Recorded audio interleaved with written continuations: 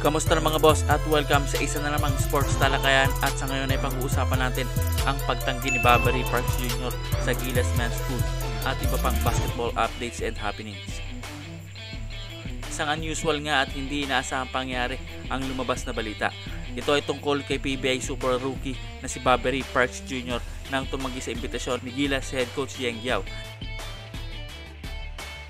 Nabanggit nga ni Coach Yeng na naimbitahan nga niya si Riri Parks Jr. para sana sa isang Gilas pool practice pero dinecline niya ito. Ito ay ayon mismo kay Coach Yeng mga boss. Isang unusual nga ito dahil karamihan sa mga pro basketball players natin ay gusto nga mabigyan ng chance na makapaglaro para sa ating national team. Matatandaan na ilang beses na din na nakapaglaro si Parks Jr. Mula pa nang ito ay nasa college pa lamang at kasama nga siya sa Gilas Cadet at syempre, sa ganda nga ng nilalaro niya sa PBA ay hindi naman nakapagtataka na kunin siya ni Coach Yeng. Siya nga ay nag-average ng 23.4 points, 6 rebounds, 1.7 steal at 3.4 assist per game habang may kabuuang 43% of shooting. And as of now eh, siya ang best local player sa ngayon sa liga. At kamakailan nga ay nabanggit ni Coach Jim Alapag na hindi nga kagulat-gulat yun para kay Parks. Mga boss, ano nga kaya ang main reason ni Barbary Parks Jr. sa pagtanggi niyang to? Well, kung ako ang tatanungin sa issue na to ay siguro ay meron lang din siyang ibang priority sa ngayon. Pag nagkataon nga ay dalawa sila ni Jason Castro na hindi makakapaglaro para sa ating national team. Kaya naman naisip ko lang mga boss na panahon na nga ba para bawiin nila ang pag-disregard nila sa Philip College player na si Remy Martin na kasalukuyan naglalaro sa Arizona State ngayon medyo kaya pa naman sana sa oras kung talagang nanaisin ng SBP. Well, sa issue nga na yan ay positive pa din si Coach Cheng dahil nabanggit din niya na madami pa din naman na pwedeng isali sa men's pool. Dahil nga dyan eh, the rescue naman si Keeper Abena na ready ready na bumalik para sa national team matapos ang kanyang 18-month suspension over banned substance. At mag-uumpisa na mag-practice kasama ang ilang members ng Gilas next week mga bossing. Well, para sa akin, eh, okay naman si Keeper. Pero iba kasi talaga pag may Jason Castro tayo sa loob ng court. At mas okay din na sana kung merong Remy Martin at Bobby Ray Parks Jr. Correct me if I'm wrong mga boss, pero yun ay opinion ko lamang. Well, punta naman tayo sa nangyari preparation ng Batang Gilas. Sa una nilang tune-up kontra UE Red Warriors.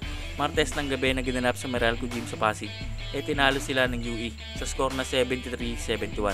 At nanguna nga si Kai Soto na nakagawa ng 13 points at si Dave Ildefonso na may 11 points. Samantalang dismayado naman si AJ Edu na nakakuha lamang ng 4 points. Pagkatapos nga ng laro ay nabanggit ni Coach Sandy Ares Pakuchaga na kailangan nga daw nila ayusin ang laro nila. Lalo na ang inconsistent nila pagdating sa depensa at pagtutuunan nga daw nila ng pansin ito. Kaya naman agad silang bumawi sa kanilang second tune-up at this time FEU naman ang nakalaban nila sa pareho ding lugar Noong Thursday ng gabi sa score ng 67 to 66 ay tinalo nila ang FEU at pinangunahan ito ni Cyrus Torres at Kai Soto na parehong gumawa ng 14 points kasama nga dyan ang dalawang dunk highlights ni Kai Soto. Habang katulong nila na nakagawa ng tig 9 points sila AJ Edu at Jerry Abadiano. Isang magandang pangitain ito para sa Batang Gilas dahil ang iba nga sa kanila ay medyo nangangapapa sa mga kakampi nila at isa pa nga dyan ay wala pa sa lineup nila ang star point guard nila na si Dal Panopio na makakasama pa lamang nila sa Qatar sa isang pocket tournament next week. Well mga boss, regarding nga kay Bobby Parks Jr. na isa sa naging topic natin sa ngayon, eh ano nga bang masasabi nyo? Para ba sa inyo ay malaking kawalan siya sa national team? At kung sa tingin nyo nga ba ay oras na para baguhin ng SBP ang isip nila para muling tawagan si Remy Martin? Comment nyo lang yan sa inyong mga sagot sa baba at isa-isa nating babasahin yan.